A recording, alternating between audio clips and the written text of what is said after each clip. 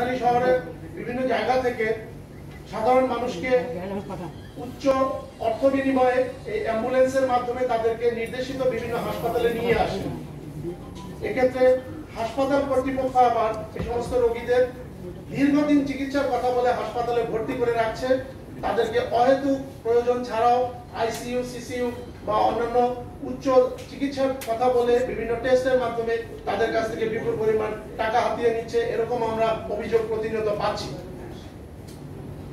অতি সম্প্রতি কতগুলি নিউজ চ্যানেলে মোহাম্মদ শাহাদাত হোসেন ওরফে মামুনের প্রতারণার বিভিন্ন রিপোর্ট প্রকাশিত হয়। ধারাবাহিকতায় গতকাল তেরো জুলাই দু হাজার এগারো রাত আনুমানিক বাইশশো তিরিশ ঘটিকায় রাজধানীর মোহাম্মদপুর থানাধীন শ্যামলীর ন্যাশনাল হেলথ কেয়ার জেনারেল হাসপাতাল থেকে একটা অভিযান পরিচালনা করে এবং হাসপাতালের সামনে থেকে প্রতারক চক্রের মূল হোতা মোহাম্মদ শাহাদাত হোসেন মামুন এবং তাকে মোট তিন লক্ষ পঞ্চাশ হাজার জাল টাকা এবং পাঁচশো পঞ্চাশ পিস ইয়াবা সহ আমাদের কাছে রিপোর্ট করেছে।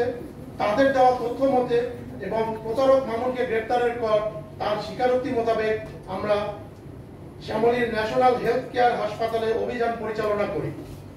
এবং উক্ত অভিযানে আমরা হাসপাতালের স্টাফ মোহাম্মদ মঈনুদ্দিন মামুন মোহাম্মদ রহমতুল্লাহ এবং আকরাম হোসেনকে গ্রেপ্তার করি। প্রতারক মামুন সহ মোট তিনজন কর্মচারী মোট চারজনকে আমরা এই ঘটনায় গ্রেপ্তার করি। গ্রেপ্তারকৃতদের জিজ্ঞাসাবাদে এবং ভুক্তভোগীদের বিভিন্ন অভিযোগের প্রেক্ষিতে সাধারণ মাঠ পর্যায়ে যে রোগীরা রয়েছে এবং সাধারণ মানুষ তারা কীভাবে প্রতারিত হচ্ছে এটা আপনাদেরকে বোঝানোর জন্য আমরা এভাবে দেখাতে চাচ্ছি।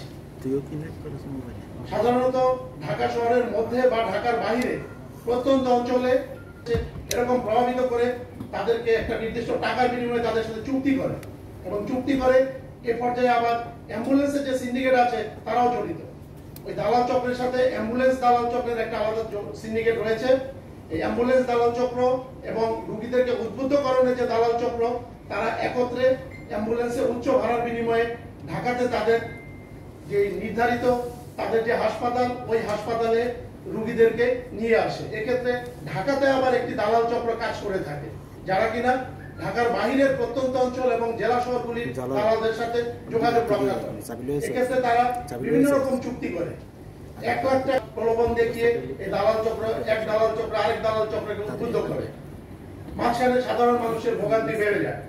সরল বিশ্বাসে তারা এসব দালাল চক্র দ্বারা প্রভাবিত হয়ে ঢাকা শহরে উন্নত চিকিৎসার আশায় যখন আসেন, তখন মূলত বেসরকারি হাসপাতালগুলিতে যেখানে একটু কম মূল্যে অখ্যাত কিছু বেসরকারি হাসপাতাল বা ডায়াগনস্টিক সেন্টারে চিকিৎসা বা টেস্ট করা যায়, এইসব জায়গাতে তারা প্রলোভিত হয়ে আসে এবং এই হাসপাতাল কর্তৃপক্ষ দেখে তাদেরকে দীর্ঘ সময় হাসপাতালে থাকতে বাধ্য করে।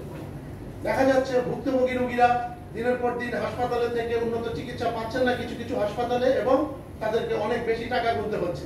এক্ষেত্রে আমরা প্রতিনিয়ত অভিযোগ পাচ্ছি সাধারণ মানুষের ভোগান্তিটা কমানো যায় এবং এই প্রতারক চক্রকে আইনের আওতায় নিয়ে আসা যায় এই প্রেক্ষিতে আমরা এই অভিযান পরিচালনা করেছি এবং এই অভিযানে আমরা স্পেসিফিক তথ্য পেয়েছি। অভিযোগকারী, অনেক অভিযোগকারী রয়েছেন।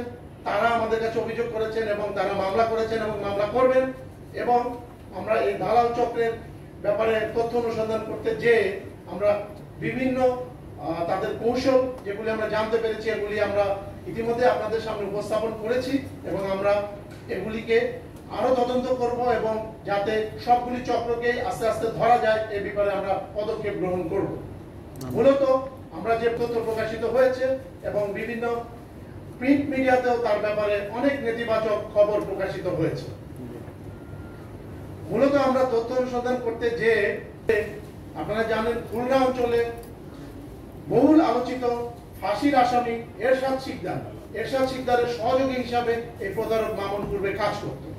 পরবর্তীতে এরশাদ শিকদার আহ, ফাঁসির দণ্ড পাওয়ার পরে সে দল ত্যাগ করে এবং নিজে ঢাকা শহরে এসে এবং বাংলাদেশের বিভিন্ন স্থানে তার প্রতারক সিন্ডিকেট গড়ে তোলে।